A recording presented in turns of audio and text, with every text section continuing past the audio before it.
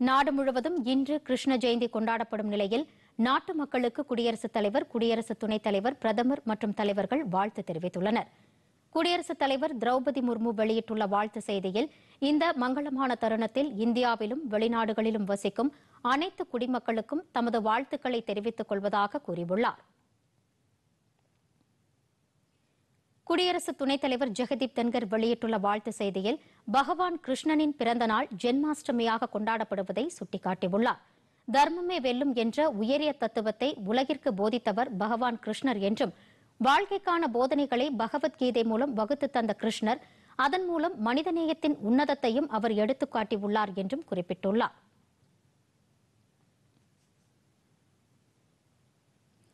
பிரதமர் நரேந்திர மோடி அனைத்து மக்களுக்கும் தமது கிருஷ்ண ஜெயந்தி வாழ்த்துக்களை தெரிவித்துக் கொள்வதாக கூறியுள்ளார். பக்தி மற்றும் மகிழ்ச்சியுடன் கூடிய இந்த திருவிழா அனைவரது வாழ்க்கையிலும் செழிப்பு மற்றும் அதிர்ஷ்டத்தை கொண்டு வரட்டும் என குறிப்பிட்டுள்ளார். தமிழக ஆளுநர் ஆர் என் ரவி கிருஷ்ண ஜெயந்தி வாழ்த்துக்களை தெரிவித்துள்ளார். முழுமை அசைக்க முடியாத அர்ப்பணிப்பு ஆகியவற்றை கடமையாற்றுதல் என்ற பகவான் கிருஷ்ணரின் நித்திய செய்தி. இந்திய மறுமலர்ச்சிக்கு தேவையான உந்து சக்தி என ஆளுநர் குறிப்பிட்டுள்ளார்.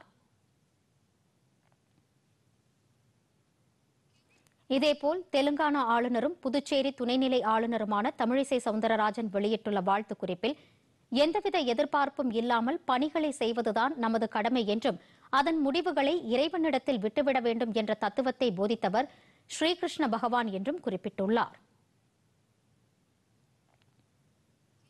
மத்திய தகவல் ஒலிபரப்புத்துறை இணையமைச்சர் எல் முருகன் விடுத்துள்ள வாழ்த்து செய்தியில் ஸ்ரீகிருஷ்ணரின் அருள் ஆசி அனைத்து மக்களுக்கும் கிடைக்கட்டும் என்றும் அனைவரின் வாழ்க்கையில் மகிழ்ச்சியும் முன்னேற்றமும் திகழ வேண்டும் என்றும் தெரிவித்துள்ளார்.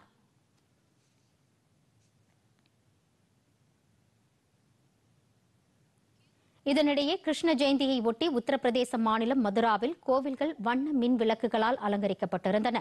ஜெய் ஸ்ரீ கிருஷ்ணா என பக்தர்கள் முழக்கமிட்டபடி சுவாமி தரிசனம் செய்தனர்.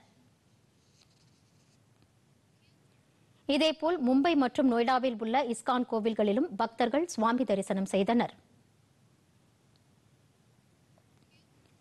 மும்பையில் தாதர் நட்சத்திரா பகுதியில் நடைபெற்ற உரியடி விழாவில் பெண்கள் பங்கேற்றனர்.